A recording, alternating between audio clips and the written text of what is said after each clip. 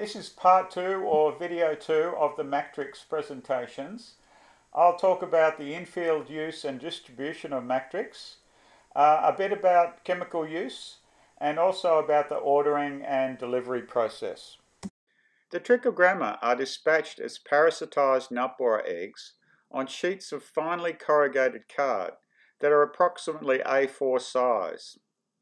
The eggs are down in the grooves, so we're able to stack the sheets on top of each other. These sheets can be broken into 24 individual strips along the perforated lines. Staple the strips under a leaf around head height and target areas where nut borer have been observed or areas where you've had the problem in the past or in areas where you expect moths to move into the orchard, say from bush boundary or the windward side. Try and identify nearby hosts of nut borer for instance, Poinciana, Bauhinia, bird of paradise tree, Campania, eastern cassia, golden rain tree, mimosa bush, schotia, tamarind and mangroves. In high rainfall areas, inverted plastic cups can be used to protect the cards from rain. Cards can be stapled into the cups or hooked on a wire. Although most growers don't do this, and they still get good results. Cups can become a place for ants to make nests.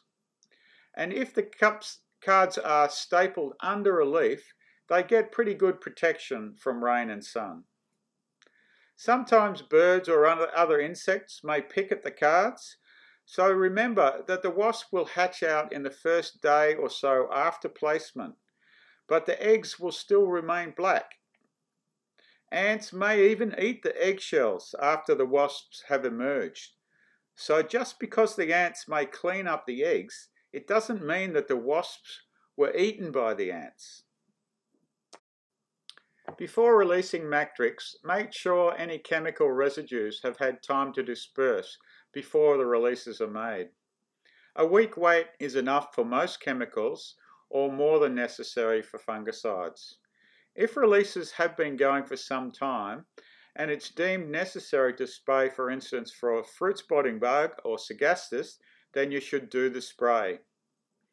Adult trichogramma will be killed, but those developing inside the nut borer eggs will have a good chance of survival and will be able to re-establish quickly. All the same, it's best to minimise the use and frequency of broad spectrum insecticides as much as possible. Try and get the timing right so you don't have to reapply and you can minimise your applications.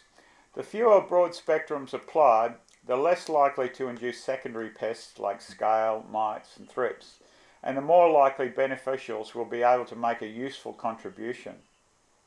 But if it's deemed necessary by you or your consultant to spray an insecticide, then choose a softer option if there's one available.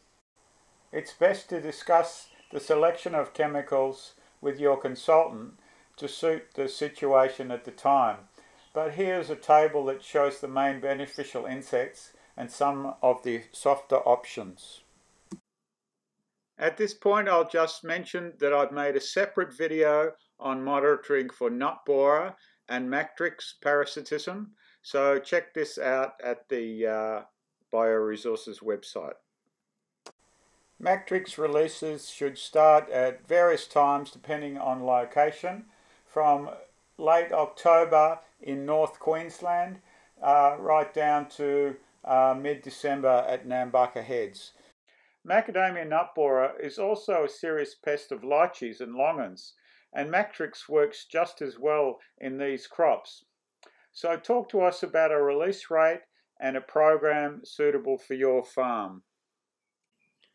Mactrix are sold by the thousand parasitized eggs in programs of eight or, of eight or more deliveries per season. The density of the parasitized eggs will vary on the sheets. This allows for a wide margin of error there are actually many more eggs than this. To make use of all the sheets, we generally send the lower density sheets to the growers with small orders and give them more sheets to make up the difference. The high density sheets usually go to the larger orders and we send less sheets. Sometimes a small order will have a high density sheet, sometimes a larger order may have some lower density sheets. we always supply in excess of your order. A quick look and count with a hand lens will make this obvious. And some weeks, when we have excess sheets, we'll distribute them among the orders. As for release rates, for smaller crops, release 500 to 1,000 parasitized eggs per hectare per week for at least eight weeks. Small crops with close boundaries can be more susceptible as moths can easily spread right through the crop, so order enough for the total area of the crop. For larger crops, say over 10 hectares, the rate can be reduced if you can identify specific areas where nut borer usually start in the crop or where there are hot spots. This way, you, can, you may not have to treat the whole area of the crop. In the first two or three weeks, place all the strips in known hotspots or along pressure boundaries. If releases start late, then higher release rates per hectare can be made in the first two or three weeks. Discuss release rates and a strategy suitable for your farm with your consultant or give us a call. Mactrix is a reasonably perishable product. We cannot store the parasitized eggs for more than five days in the cool room, so we have to carefully schedule production to meet the seasonal demand.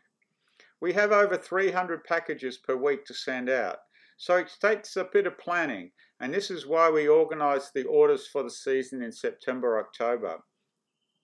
As mentioned, we usually contact all our previous customers in September to firm up orders for the season.